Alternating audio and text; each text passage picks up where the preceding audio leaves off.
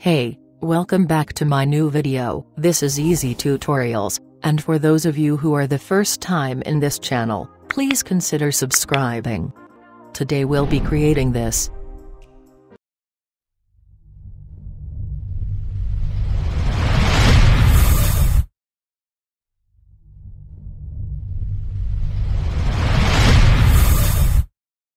Before we start, I'd like to invite you to support me on Patreon. You can also get access to all my premium content.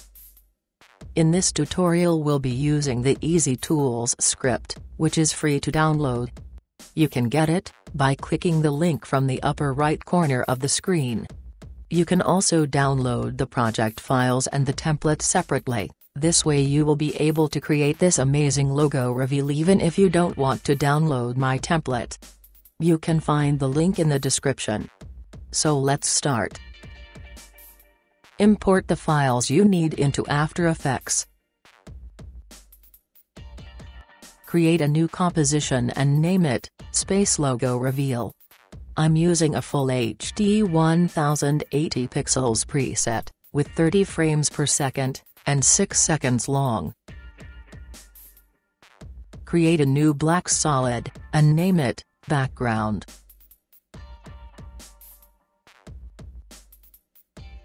Search for fractal noise, and apply it to your layer. Change the noise type to spline. The contrast to 175 the brightness to minus 55. Click on Transform, and change the scale to 1200. Change the complexity to 1. Alt-click on the evolution stopwatch, and write this expression. Time multiplied by 20. Click Await to save it. Search for hue and saturation, and apply it. Check the Colorize box. Change the Colorize hue angle to 234 degrees. The Colorize saturation to 100. And the Colorize lightness to minus 100, then create a keyframe on it. Move to 15 frames, and change its value to minus 81.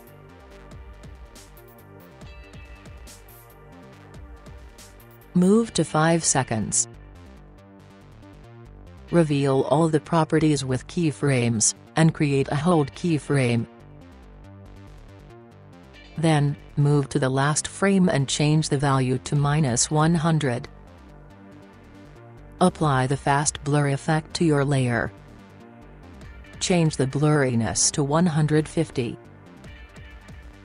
And check the Repeat Edge Pixels box.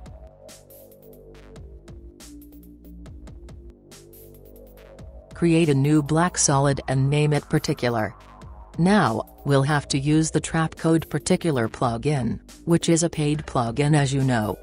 For those who don't have it yet, go to the Red Giant official website, and download the trial version. You can find the link in the description. Search for particular, and apply it to your solid layer.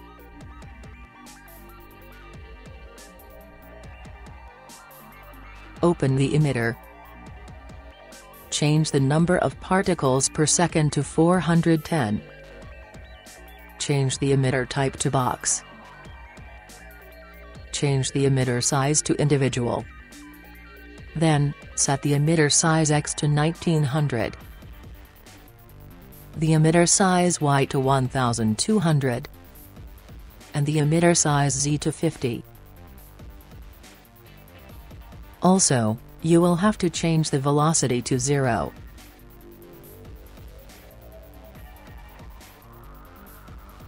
Open particles, and change the life to 8 seconds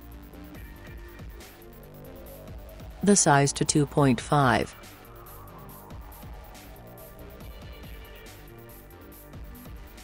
Open opacity over life. And apply this preset.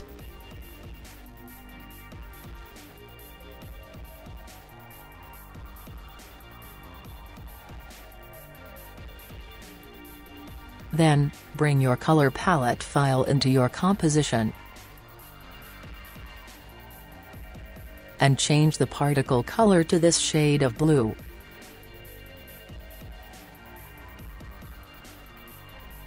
Open Physics, click on Air, and change the Wind Z value to minus 415.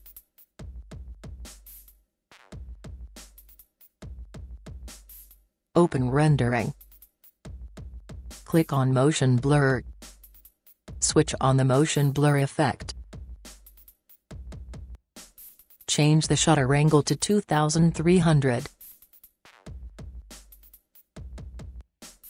The type to subframe sample. And the levels to 32.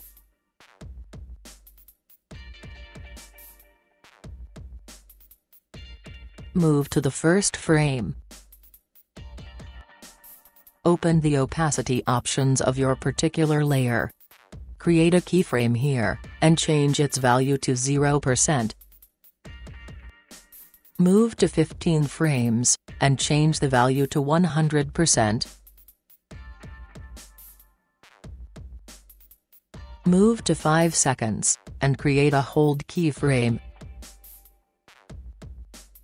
Then, move to the last frame, and change the value to 0%.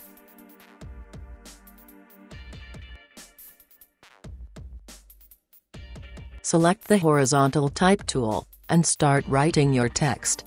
I am using the Gotham Black font family which is free to download, but you can use any other font, as long as it's a thick one.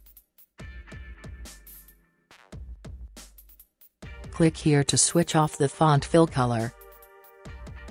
Change the stroke width to 3 pixels. Then, select the stroke color, and change it to this shade of blue. You can delete the color palette file now.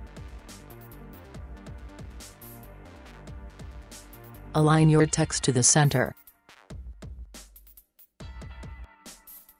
Make it 3D. Open its position options. Move to the first frame, change the Z position value to 15,000, and create a keyframe.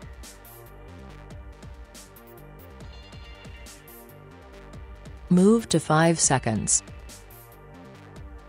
First, change the Z position to minus 2300. Move your text to the right or left until you have a clear space in the middle. Then, change the Z position to minus 2700. Move to 15 frames, open the opacity options, create a keyframe, and change the value to 0%. Then, move to 2 seconds, and change the value to 100%.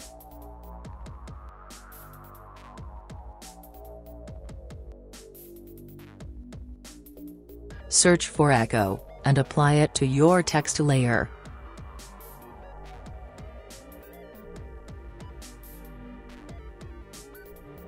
Change the echo time to minus 0.0023.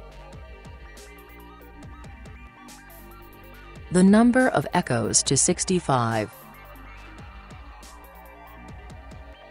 And the decay to 0.95. search for CC Radial Blur, and apply it. Change the type to straight zoom. And the amount to 4.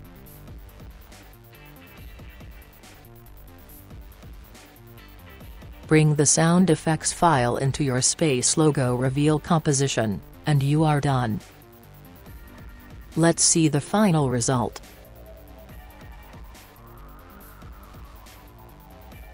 I hope you enjoyed this tutorial on how to create a space logo reveal animation in After Effects.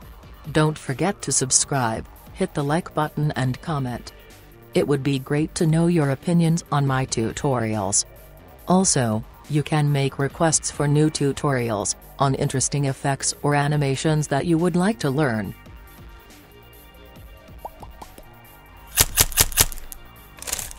See you soon.